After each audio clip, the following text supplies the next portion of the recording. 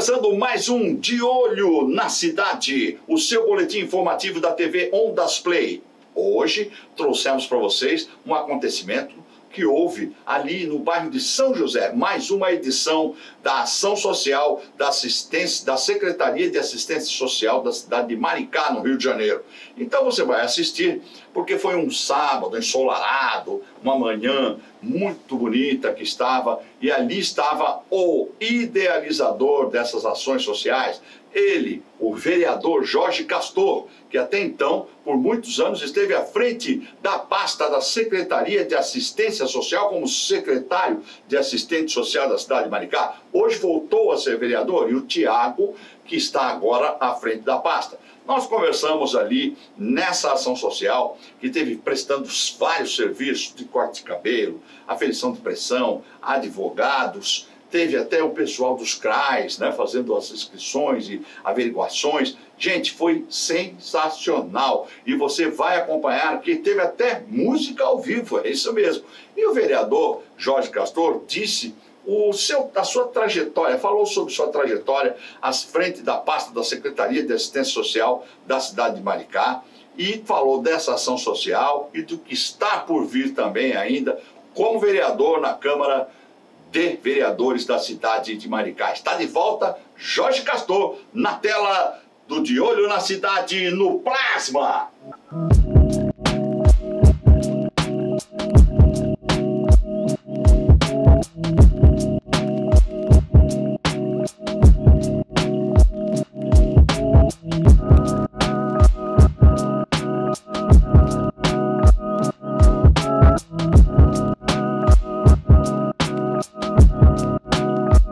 TV Ondas Play está aqui em mais um evento de ação social, agora no bairro de São José de Embaçaí. Vereador, como está sendo para o senhor mais esse evento de ação social agora em São José de Embaçaí? Bom, primeiramente eu quero dar um olá ao pessoal da TV Ondas Play. Acho que é importante é, falarmos sempre para não só para o município de Maricá, mas para uma, uma cadeia de, talvez de países, estados que a Onda, Ondas Play está nesse momento alcançando. Isso cada vez é mais importante para a cidade de Maricá, que hoje cresce a níveis altíssimos. Então, e para mim, enquanto estive à frente da secretaria por mais de 13 anos, é, me dá um orgulho muito grande, né? Porque alguém que pegou a secretaria no dia 1 de abril de 2010, no dia da mentira, né? Porque era o dia da mentira, 1 de abril, e deixa 13 anos, mais ou menos 13 anos e meio depois, um legado do qual eu tenho deixado para o povo de Maricá, sempre voltado para os mais para os menos favorecidos e para os mais favorecidos que nos ajudavam a diminuir a carência dos menos favorecidos. Eu acho que nós somos uma espécie de uma unidade que conseguimos chegar a um ponto de que a secretaria hoje não é apenas uma secretaria de assistência social, ela era uma, era uma referência para o Estado e para o Brasil. Agora, vereador, conta pra gente um dos principais projetos que o senhor já realizou nessa gestão. Olha só, não existe principal projeto. Todo projeto é importante.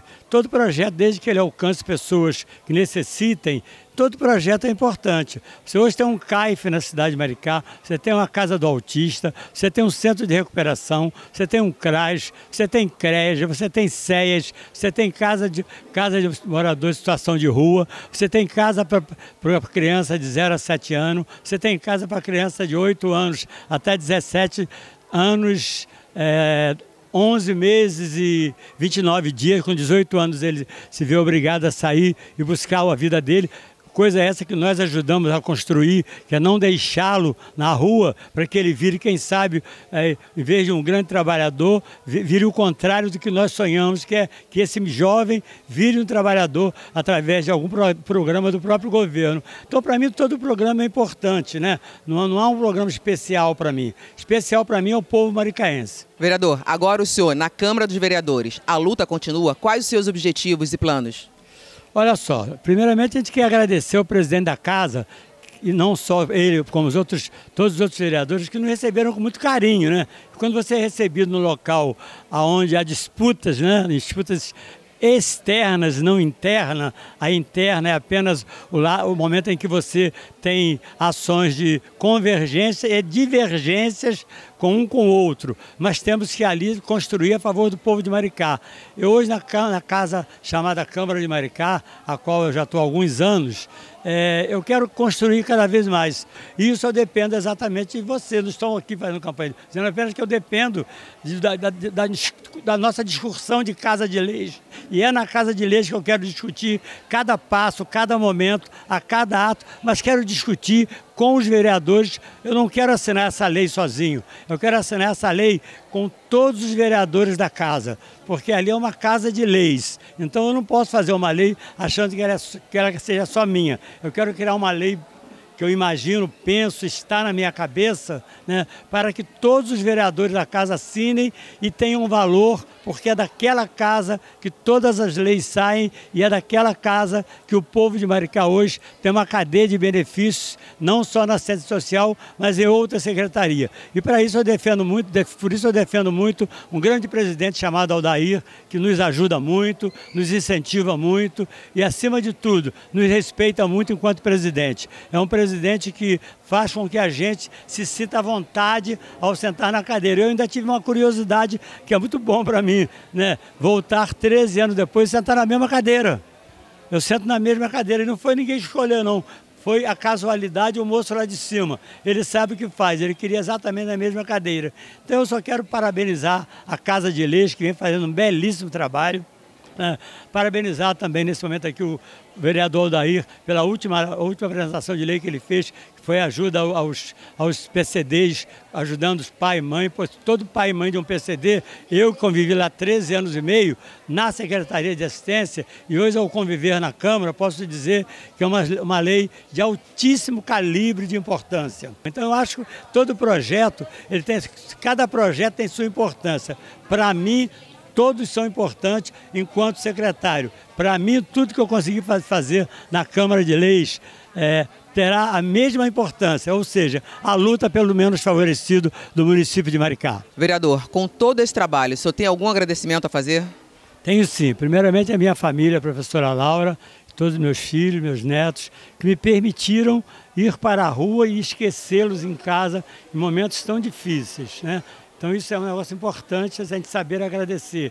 E eu tenho uma família unida que me permite fazer isso para o povo de Maricá. Mas tem um agradecimento especial. Sem o companheiro Fabiano, sem o companheiro Quaquá, Quaquá primeiramente enquanto prefeito em 2010, quando me colocou como secretário, e Fabiano, que teve a, a sensibilidade de me manter como secretário, eu devo uma gratidão muito grande a esses dois prefeitos. Então, fica aqui o meu agradecimento especial ao essa dupla de prefeito maravilhosa, que são Quaquá e Fabiano.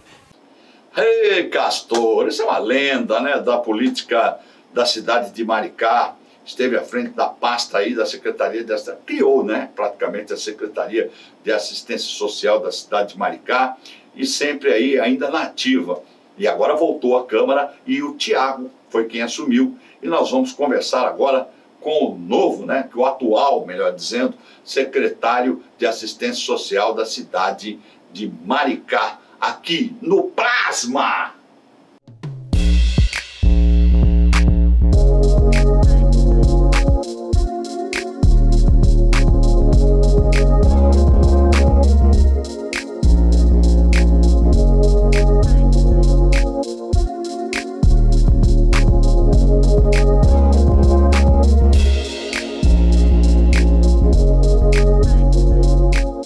Secretário, quais os serviços que estão sendo oferecidos aqui nesse evento? Então, hoje a gente está aqui mais uma edição da nossa ação social, né, onde a gente faz em várias áreas de abrangência dos CRAs. Hoje nós temos nove CRAs no município de Maricá. Então, cada equipamento fica responsável pela sua área de abrangência. O equipamento responsável hoje é o CRAS São José.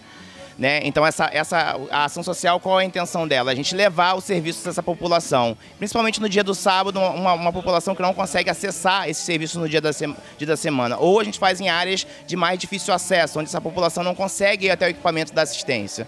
Então, hoje aqui a gente tem alguns parceiros, como a Secretaria de Saúde, o Cine, os equipamentos da assistência social, o CRAS São José, CREAS, abordagem social, programa Bilhete Universitário. Temos a Cruz Vermelha também, e aqui o exame de vista, que também é um parceiro nessa ação de hoje. Secretário, o senhor está há cinco meses aproximadamente à frente dessa secretaria, até então, sobre a gestão do vereador Castor. O que, que significa isso para o senhor e como está sendo dar continuidade nesse processo feito?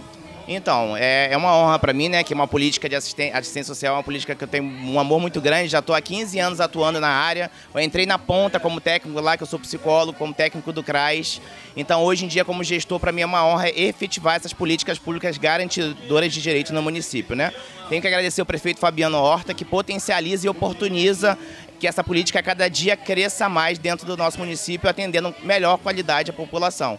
A minha expectativa é uma expectativa muito grande em referente à qualificação desses serviços né, e ampliação. O município de Maricá hoje é um município em crescimento. É, um crescente expansão populacional. Então isso demanda muito a política pública que seja mais atuante. Então a assistência social também está com planejamento de abertura de novos CRAs e potencialização de outros equipamentos para a gente conseguir atender essa demanda dessas pessoas que estão chegando no município hoje. Secretário, nós sabemos que a cidade tem número crescente de PCDs.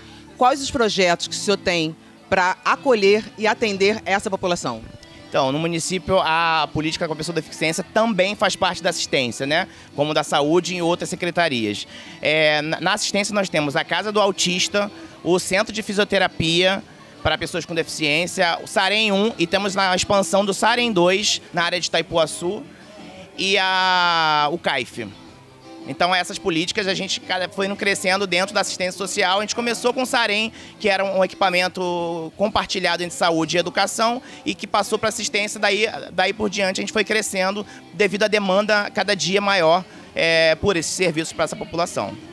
Então, eu quero agradecer aqui a população que está aqui hoje acessando esses serviços e colocar à disposição todos os equipamentos da assistência social para vocês possam procurar de segunda a sexta, de 8 às 17, que é o funcionamento de todos os equipamentos. Muito obrigado à população de São José, a TV Ondas Play por estar fazendo essa cobertura aqui hoje.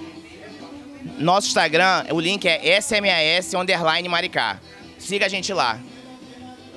Grande Tiago Ribeiro, em breve está aqui conosco no programa da Helenita Pereira, Seja Você na Real, falando sobre assistência social, falando sobre projetos, falando do, do, amor e a empatia pelo próximo, né? Sobre o PCD, a pessoa com deficiência e todos esses assuntos que envolvem o ser humano, aqui com a Helenita Pereira, no programa dela. Em breve vai estar o secretário de Assistência Social, Tiago Ribeiro, tá bom, gente?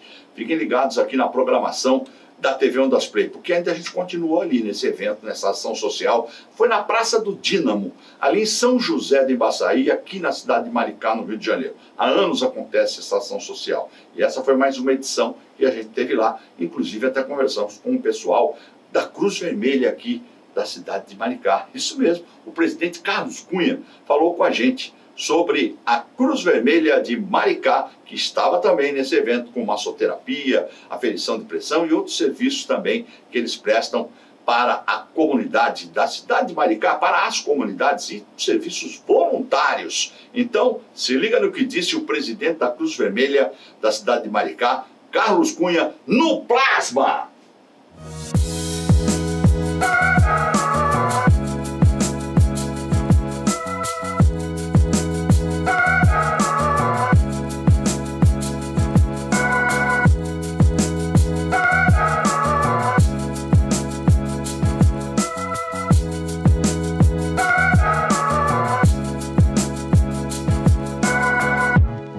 Carlos Cunha, qual a importância da Cruz Vermelha estar aqui nesse evento de ação social? Em primeiro lugar, quero agradecer a Deus a presença de nós estarmos aqui, a, a TV Onda Spray com, também apoiando, como sempre, apoia os movimentos de ações sociais que é realizado dentro do município de Maricá. Quero ressaltar que para nós, para a Cruz Vermelha, é um prazer muito grande estar aqui com a população, podendo dar a ela um pouco mais de conforto e satisfação no, na, na questão de saúde.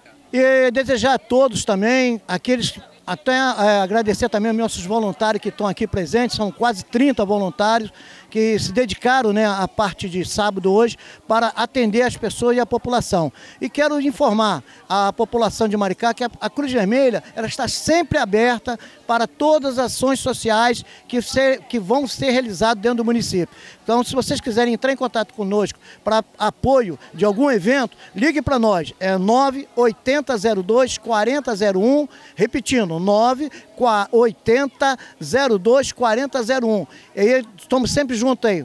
Muito obrigado. É, e outra coisa que também que eu esqueci, é, se você quisesse também visitar nosso arroba Cruz Vermelha Maricá, é onde temos todo o nosso movimento que nós realizamos dentro do município.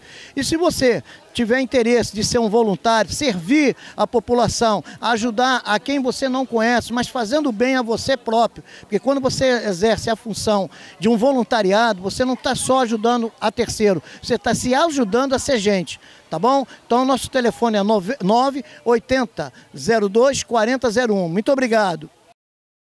Viu só? A Cruz Vermelha também é atuante aqui na cidade. Se você precisar, é só seguir aí, ó. Tá aí o telefone na tela. Quer ser um voluntário da Cruz Vermelha de Maricá? Acesse a rede social ou então ligue para esse telefone e faça parte desse grupo de ajuda, que é a Cruz Vermelha em todo o mundo, né? E aqui Maricá tem também a sua base. E por falar em base, a base de tudo isso é o povão e nós fomos ouvir o que, que o povão disse que estavam presentes lá nesse evento de ação social. Ouvimos os moradores de São José e até visitantes de outro estado que estava ali, uma visitante de outro estado que deu seu depoimento também em relação ao evento. E você acompanha aqui agora o Povo Fala no Plasma.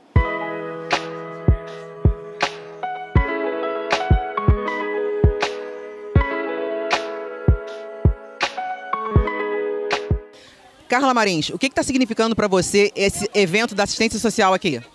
Estou achando muito importante para a população do bairro estar tá recorrendo a serviços sociais, é, tirando suas dúvidas, cuidando da sua saúde. E é isso aí, São José é sempre em movimento. Carla está com a titia dela, dona Dulcineia Marins. Dona Dulcineia, para a senhora, o que significa mais esse evento aqui? É porque, é porque a gente vem e está muito bom, bonito é para a saúde da gente. Estamos aqui com Maria das Graças, uma visitante que veio de Minas e é conselheira tutelar lá em Minas. Maria das Graças, qual a importância para você de estar aqui nesse evento de ação social? Nossa, de suma importância, né? Estou adorando muito, estou gostando bastante. Tem eventos como esse, é muito bom para a população. Tô, conheci pessoas aqui, né? Então gostei bastante, é, é de suma importância para a população, né? E é isso. Estamos aqui com a Vera Machado, que trouxe a família para esse grande evento que está sendo ação social aqui na cidade de São José de Baçaí, Maricá. Dona Vera, o que está significando para a senhora estar aqui nesse evento? Gente, tudo de bom. Maravilhoso. É, saúde, coisas que a gente precisa. A condições de vida daqui é maravilhosa. Isso aqui é tudo de bom pra gente. Principalmente a nós da terceira idade, né? Então tudo é muito maravilhoso, tudo muito lindo mesmo. Perfeito, perfeito, não tenho o que falar mais. Viu só, o povão adorou, né? E até desfrutaram de, de, de assuntos jurídicos. Se tivesse alguma dúvida de algum termo jurídico, né? algum processo, alguma. É, ou seja, uma consulta com um advogado gratuita, doutora Joana Araújo estava lá e falou conosco no Plasma. Estamos aqui com a doutora Joana Araújo, da Araújo Fernandes, Sociedade de Advocacia. Doutora Joana, quais os serviços que estão sendo prestados por você aqui nesse evento? No dia de hoje, nós aqui do Escritório Araújo Fernandes prestamos atendimentos nas áreas trabalhista, previdenciária, de direito do consumidor, direito de família também. Hoje nós prestamos alguns atendimentos aqui, cerca de 7, 8 atendimentos voltados para essas áreas. É um prazer estar aqui novamente e estar aqui colaborando com a cidade de Maricá. Um dos organizadores desse evento, que sempre está à frente também, colaborando e fazendo com que as coisas aconteçam, é o pastor Otávio Pires, que falou conosco também sobre o evento e você confere no Plasma.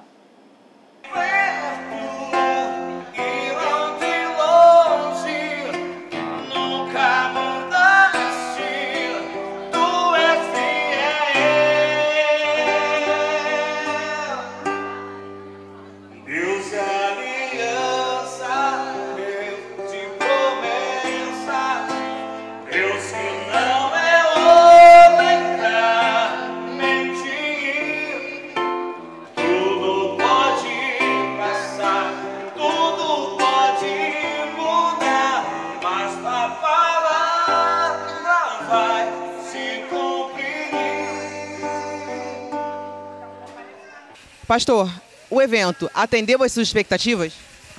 Sim, sim. Boa tarde a todos. O evento atendeu as minhas expectativas. É, estamos bastante felizes, estou bastante feliz é, em atender a população, entender a, a necessidade de cada um. Foi bem positivo. Sim, com certeza. Quero agradecer a todos, os, os, colaboradores, os que participaram, todos os envolvidos diretamente, indiretamente, a Sinaf Seguro, inclusive a Ondas Play e toda a galera, isso aí foi muito positivo mesmo. E até a próxima, né? Próxima possibilidade, nós estaremos também, mais uma vez, aí agraciando a comunidade maricaense com mais uma ação social. Aí, sabe o que aconteceu, gente? Enquanto a gente estava para lá e para cá, para lá e para cá, o nosso cinegrafista William sumiu do nada. E a nossa repórter, cadê? Sumiu. Eles estavam, sabe aonde? Comendo açaí, mas também, né? Quem é que existe? Sabe quem estava lá? Com o seu quiosque aberto? A Bebel, das delícias da Bebel aqui da cidade de Maricá. Bolos maravilhosos, kit festa, salgadinhos, então. Hum. Gente, a Bebel se reinventou na pandemia e vocês vão saber a história dela também no programa da Helenita Pereira, que acontece toda quarta-feira aqui na TV Ondas Play, às 20 horas. Não perca esse programa não, tá, gente? Seja você na real, fala direto ao seu coração e você vai entender o porquê quando você assistir. É isso aí. E eu convido a você, fica ligado, porque a Bebel vai estar aqui também nesse programa da Helenita Pereira, que é ela que inclusive estava com a gente aí nesse evento, fazendo a reportagem como nossa repórter, né? Ela é multitarefa, ela é repórter, ela é apresentadora, ela é show de bola. Obrigado, Helenita Pereira, obrigado, William Alves, por vocês fazerem parte dessa equipe maravilhosa aqui e fazer tudo acontecer, né? A magia da TV. E é assim que a gente vai mostrando para vocês, quando a gente quer, a coisa acontece. E olha só o que a Bebel falou pra gente aqui no Plasma.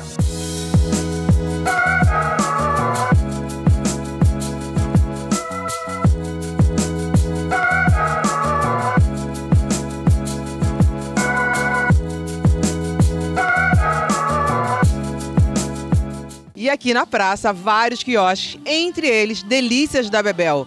Quais as delícias que você tem aqui no seu quiosque? Ah, nossas delícias são o açaí turbinado, que só encontra aqui em São José, e os nossos bolos de pote são os carro-chefe, mas aqui a gente trabalha com lanches, hambúrgueres, empadão e trabalhamos com kit festa. Se você quiser pedir um kit festa para a escola, para sua casa, é só pedir no Delícias da Bebel que a gente entrega até você. Para pedir o Delícias da Bebel é só você pedir pelo telefone 21 99877 2331 ou pelo arroba delícias.bebel. Lá estamos no Instagram com todas as nossas novidades.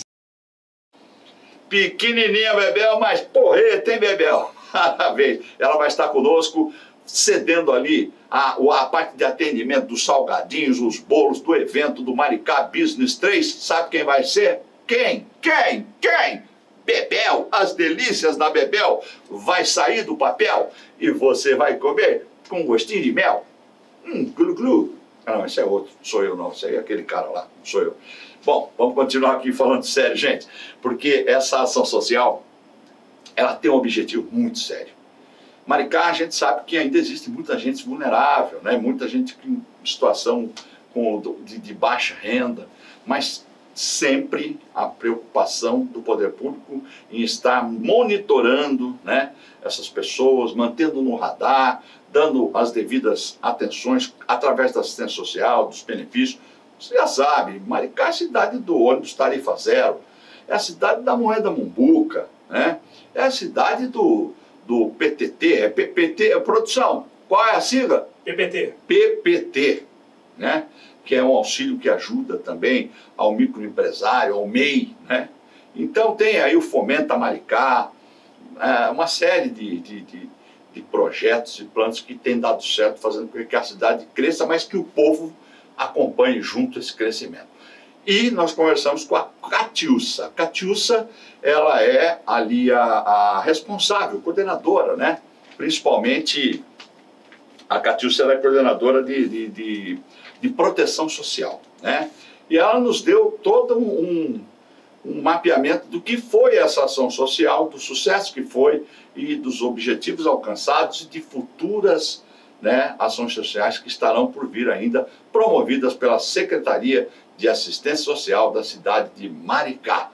Vamos ouvir o que a Catiúcia disse no Plasma.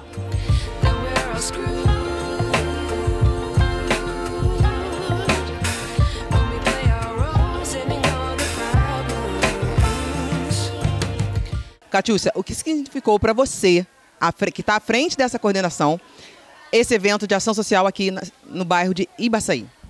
Então, para a gente da assistência social, enquanto secretaria, é um prazer fazer esse tipo de ação. Primeiramente, porque enquanto coordenadora da proteção social básica do município, a gente tem a premissa, o objetivo de é, alcançar um maior número de famílias é, no intuito de promover não só essas ações sociais, mas na promoção da garantia de direitos. Nosso trabalho se estende para todo o município de Maricá, dentre os nove, nove CRAs, e hoje a gente está contemplando aqui o bairro de São José. É, os atendimentos é, é, conseguiram alcançar diversas famílias, foram mais de 70 famílias atendidas, e nosso intuito é esse, levar a população a garantia de direitos, acesso a benefícios sociais, promovendo é, o cuidado e a, a garantia dessa qualidade de vida e promoção também do fortalecimento de vínculos familiares.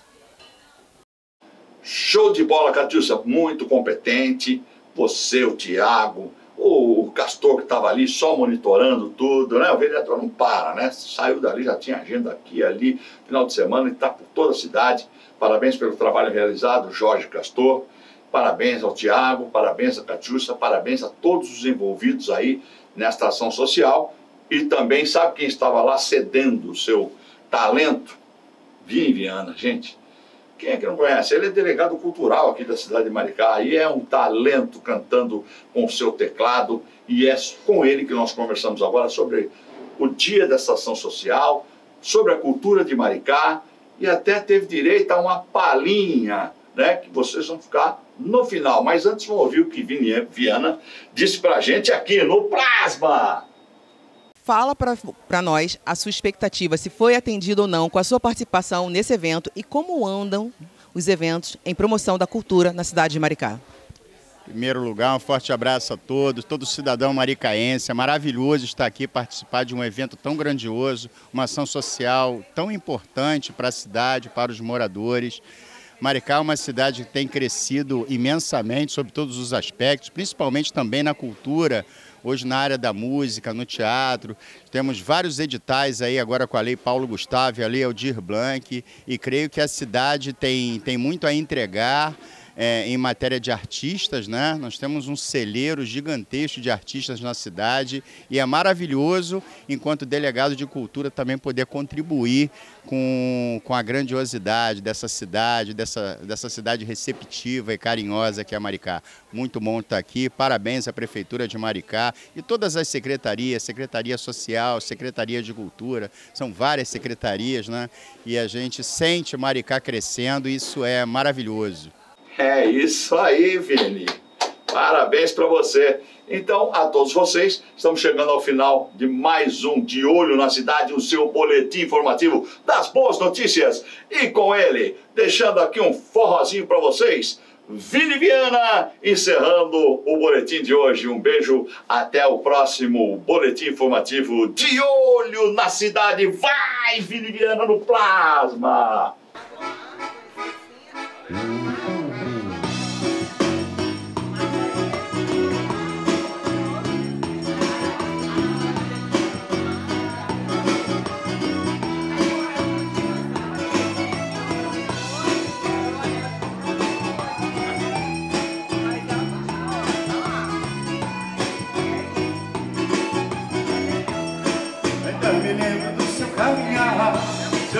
Olhar eu me lembro bem.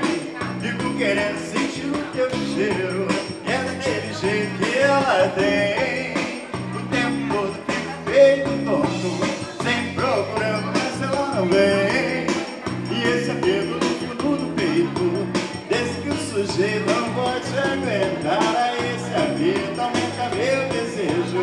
E não vejo a hora de poder falar. Por isso eu vou na casa